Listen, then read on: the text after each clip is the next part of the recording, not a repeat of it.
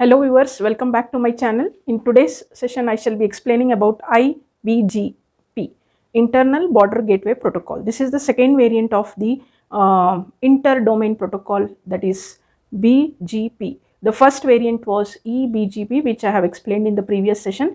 To make you understand the working of IBGP, I have written the same network diagram so that it is easy for you to compare the working also. In this particular protocol, mainly why we are going for internal border gateway protocol. Look at the two problems that we are facing in, external border gateway protocol. These two problems I have written over here. Some border routers do not know how to reach networks of non-neighboring autonomous systems. That is definitely true. Some of the routers means here you can see some of the border routers AS2. Okay, AS2 is a neighbor to AS1. Do not know how to reach networks of non-neighboring autonomous systems. The neighboring routers, the non-neighbors are AS4 and AS3. Similarly, AS4, okay, it is a neighbor to AS1, but it doesn't know how to reach AS3 and AS2. So this is one problem existing and one more problem is none of the non-border routers know how to reach the networks of other autonomous.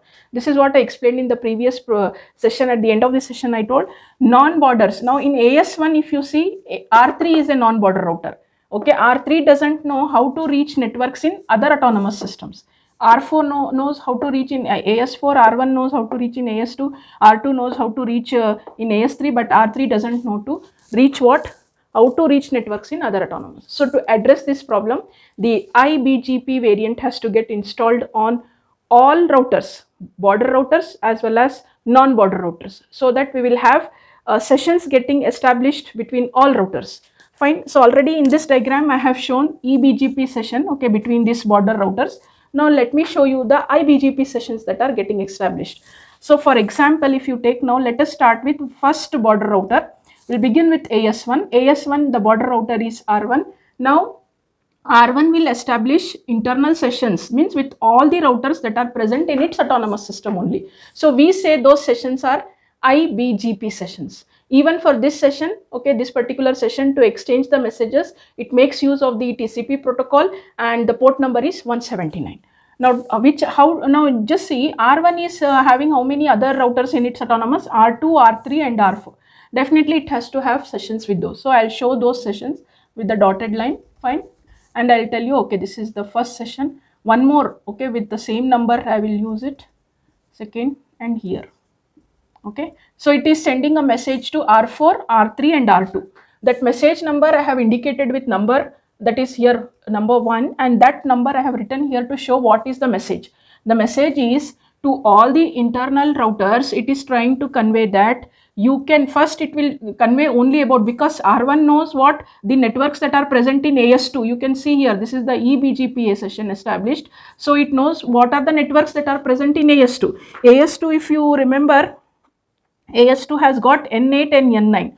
So it will write, okay, you also can reach N8 and N9. It is conveying message to the routers that are present in its autonomous system that you all can reach the networks N8 and N9 via which one? Next router will be R1. And which are the autonomous systems related here? Autonomous system 1 and AS2.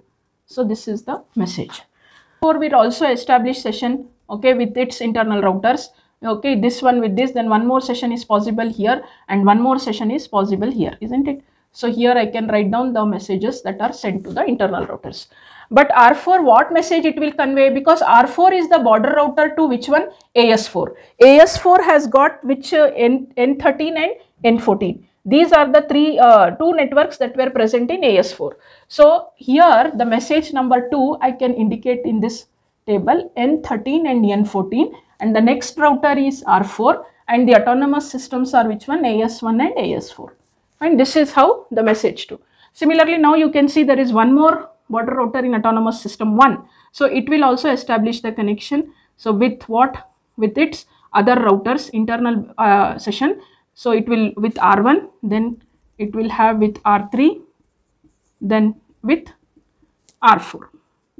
This is the message 3. So message 3 R2 is connected to the border router of AS3 and AS3 has got N10, N11 and N12. If you remember the previous diagram I have shown these were the networks that were present in AS3. So AS3 can write what AS3's message will be what? AS3 uh, sorry R2's message will be that is message number 3 to AS3 will be what? It is trying to convey to R6 that you all can reach now because R2 knows which networks that are there present in the network? Uh, sorry which networks are there in AS1 so it will try to write down which AS1 has got N1, N2, N3 and N4 and it will say you can reach via R2 autonomous systems the related ones are AS1 and AS3 right. So hope you have understood now. First uh, R1 is carrying out the internal sessions. Message is here. The next R4 then R2 okay. So in this diagram in autonomous system we had three border routers and these three border routers have uh, established internal sessions with their uh, with the routers that are present in their autonomous system. Whereas if you go for AS2 AS2 does not have any routers at all. This is the only router that is present here. So there is no nothing to uh, get us that means there is no internal sessions needed here. And AS3 AS3 is having two more routers in this session. So definitely it has to uh, establish the internal sessions. So it will establish the internal sessions. And what is the message what is the message number now? We have shown here three messages. Let us show this with fourth message. So it is trying to uh, send message to all the other two routers that are present here. And the message is message number 4 so 4 let me indicate here. So what does 4 4 will convey that is R6 will convey to R2 that you can reach the networks that are present in AS3. AS3 is N10, N11 and N12 via which router R6. What are the other two autonomous systems that are there AS3 and and which one AS1. So we are actually writing here two name uh, two uh, autonomous systems it is like a path you can tell. The next one this column is like uh, the path. So this way you you have seen that internal BGP sessions are getting established within each autonomous system to convey to their routers that you all can also reach the networks of uh, networks that are present in other autonomous systems. But to make this happen, you have to take care about what? For all the border routers, okay, all the border routers in this diagram, you have to install eBGP, iBGP and intra-domain. Definitely intra-domain is also needed because to get the information to reach networks present within itself, within their autonomous systems, that is internally, you require intra-domain. So, even this is required. But for the non-border routers, you need only the IBGP and the intra-domain. Okay. For non-border routers, you require these two to get installed IBGP and intra-domain and intra-domain I told you know it can be either RIP or OSPF. These two are the uh, popular protocols under the intra-domain.